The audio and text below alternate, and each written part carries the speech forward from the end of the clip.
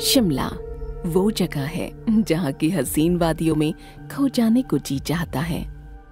जहाँ तक नज़र जाती है, सिर्फ़ नजारे ही नजारे दिखाई देते हैं।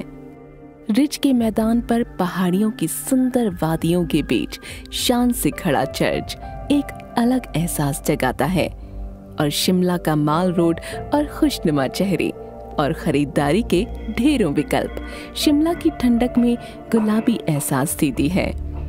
जाखू मंदिर जाकर एहसास जगता है, भक्ति की शक्ति का। ये वो स्थान है, जब लक्ष्मण जी के मूर्छित हो जाने पर संजीवनी बूटी का पता पूछने के लिए हनुमान जी यहाँ यक्ष ऋषि से मिले थे।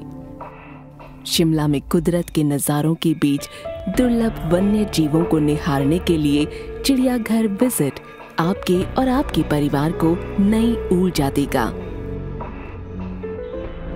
शिमला आए तो कुफरी घूमना ना भूलें। कुफरी को शिमला का मोर पंख कहा जाता है। और शिमला का राजभवन नहीं घूमे तो शिमला विज़िट अधूरी है। याद कीजिए, तीन सात उन्नीस सौ बहत्तर, वो तारीख है, जिसे लोग शिमला समझौते के नाम से जानते हैं। जहाँ आपको याद आएगा कैसे 1971 के युद्ध के बाद घुटने के बल आए पाकिस्तान ने कैसे मजबूर होकर भारत से समझौता किया था। और भारत ने पाक के तिरानवे हज़ार बंदी सैनिकों को रिहा करने के बदले वो मास्टर स्ट्रोक खेला, जिसके दम पर आज तक भारत पाकिस्तान के साथ हर विवाद में तीसरे पक्ष को दूर रखने में कामयाब है।